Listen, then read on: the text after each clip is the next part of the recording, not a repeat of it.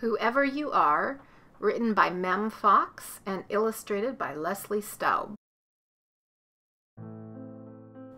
Little one, whoever you are,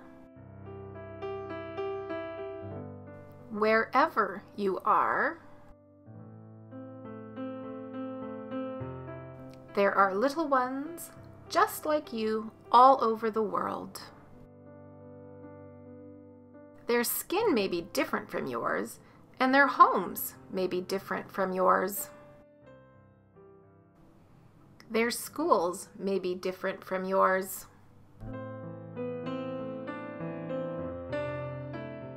And their lands may be different from yours.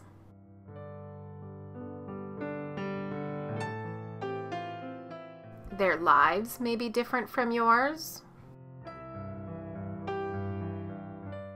And their words may be very different from yours. But inside, their hearts are just like yours. Whoever they are, wherever they are, all over the world. Their smiles are like yours. And they laugh just like you.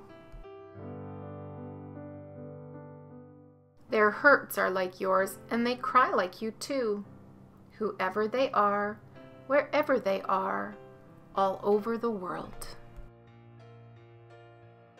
Little one, when you are older and when you are grown, you may be different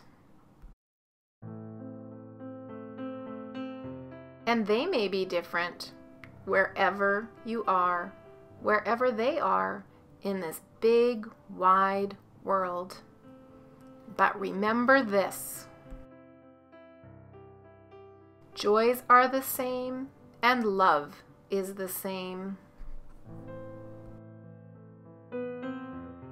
Pain is the same, and blood is the same.